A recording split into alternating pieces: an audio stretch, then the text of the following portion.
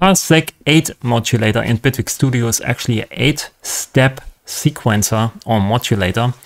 And we have also a step modulator, which is a bit different or works a bit differently.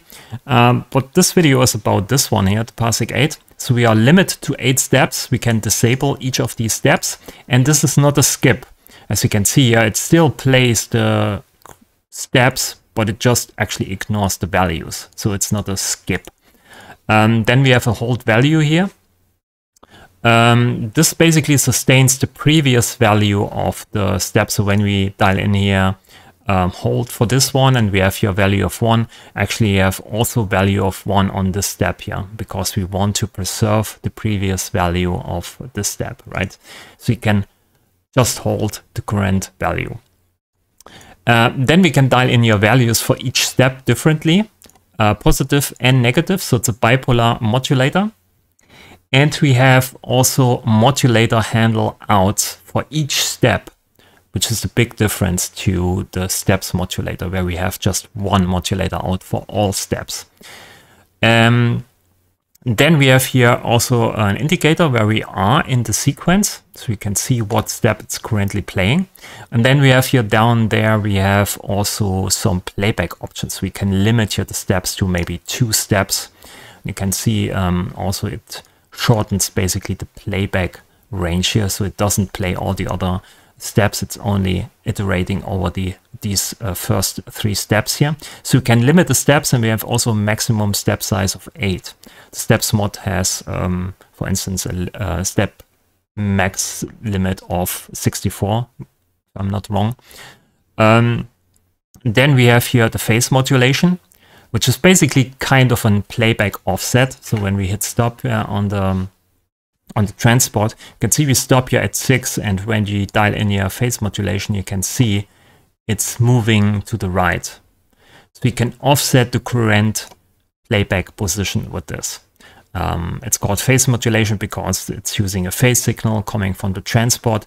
Transport uh, is sending out a phase signal, which kind of looks like a ramp signal going from 0 to plus 1.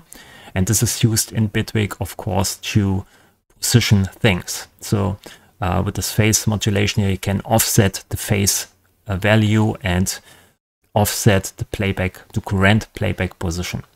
If you uh, switch this here to hold, for instance, um, you go back to the first step and then the phase modulation decides where you are in the in the playback. So you can, you know, modulate this here with a different modulator and change the playback speed or direction at any point in any kind of direction or way you could imagine. So back to bar here maybe, or maybe eight notes. Um, so yeah, we have here a limit, we have the phase, um, phase modulation, we have the smoothing option here. So this is where you can interpolate between values. So we have maybe here a value of one and here we have a value of minus one.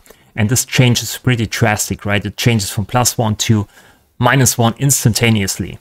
Uh, but when you modulate something, maybe a loudness or a gain knob or something like this, it produces clicks because you you, you change the, the, the modulation so drastically. So you can dial in here smoothing and Bitwig tries to interpolate between these values and make the transition kind of smoother.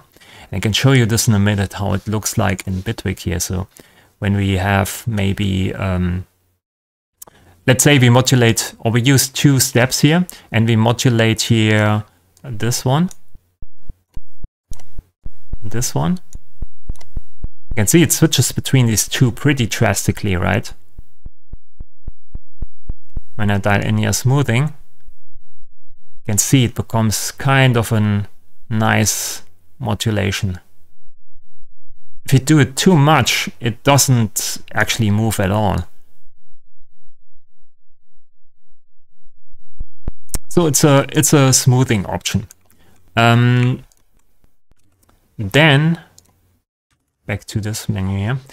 Um, then we have the playback speed, so we can change here in which direction we want to actually play the sequencer.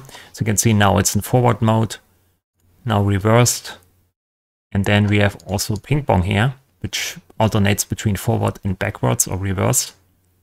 Goes back and forth, right? So we have this. We have a looping function, so it stops when we don't disable this, it actually stops after one iteration.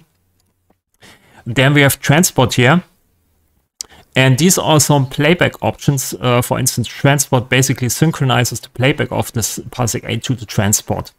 So when we hit stop here, it actually stops to, to play back. If we hit start, then it plays back from the start. It's also synchronizing to the position of your, yeah, where you are in your um, transport here. I think you can see every time I start from this position here, it starts actually in the middle, right?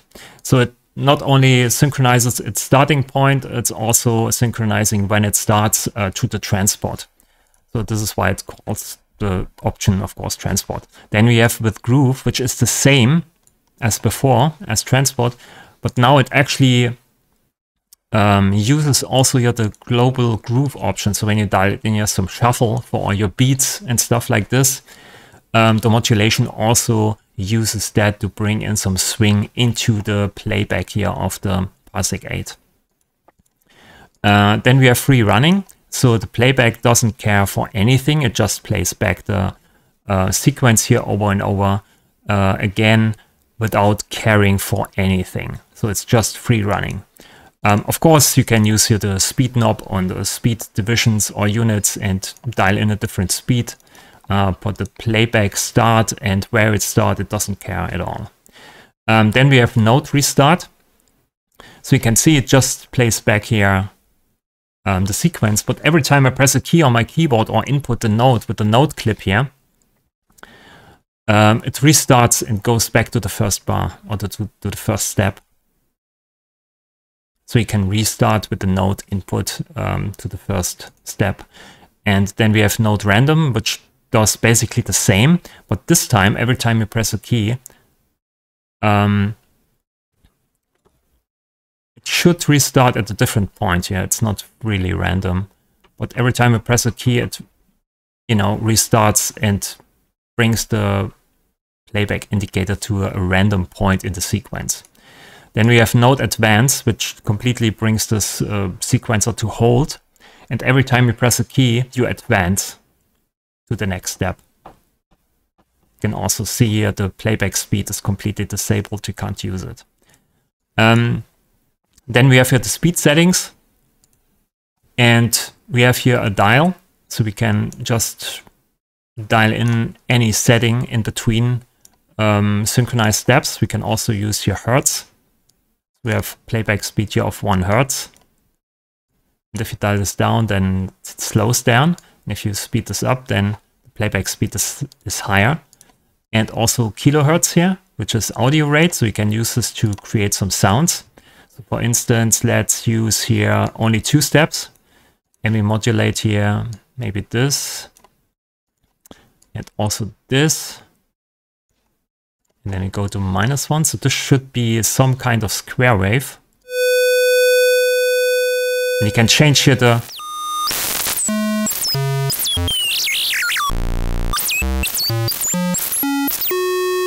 You can make music or sounds with this.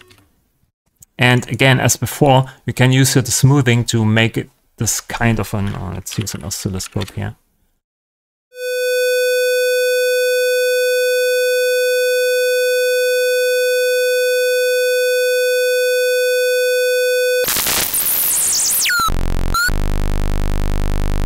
So you can see we have a square wave.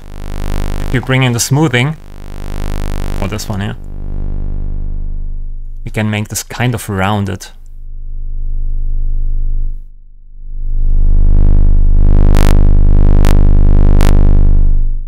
Or we actually can use here three steps maybe, like this. Let's see how, how this looks like.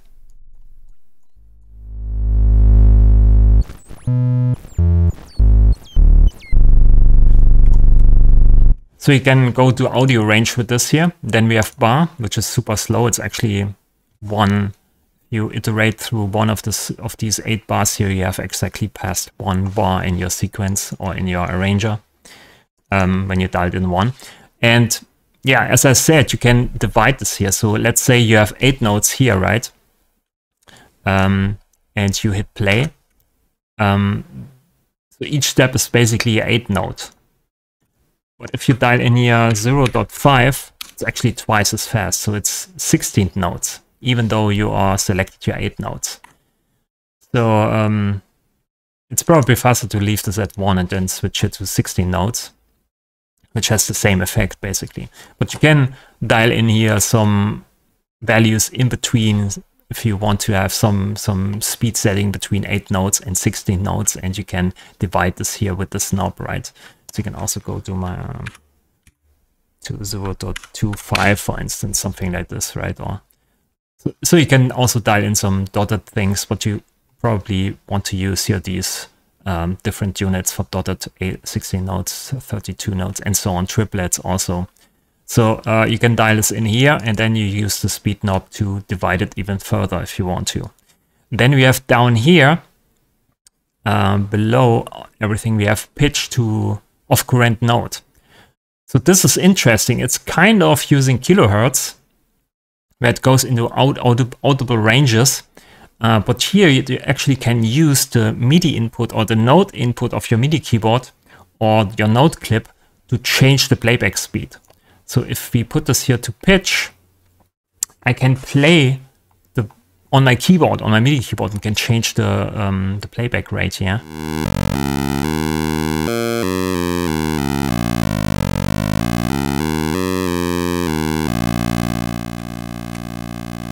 So you can do kind of a synthesizer with a DC offset device, which is which is more or less there to remove DC offset, but you can also use to make it like an instrument, right? So all we need to do now to actually make this a synthesizer, a monophonic synthesizer, is using here an envelope ADSR, which I also described, I think, in some video before. And every time we press a key on the keyboard here, we can see we have here the ADSR reacting to it. So we use this to change actually the volume or the amount knob here of the Parseq 8. So every time we press a key, we dial in or we bring in the amount and we also change the pitch to the current key of the MIDI keyboard. So it's perfectly nice small little monophonic synthesizer you can do with the Parseq 8 here. And also the oscillator itself, it's um, yeah, it's a drawable oscillator if you want to. Okay, so I described you all these knobs here, how this works, um, what it does, and you find more tips and tricks on or some practical examples on my main channel where it's all about making music instead of describing what the manual says. So um, this is only to describe basically what each knob does and how you kind of use all these uh, settings here.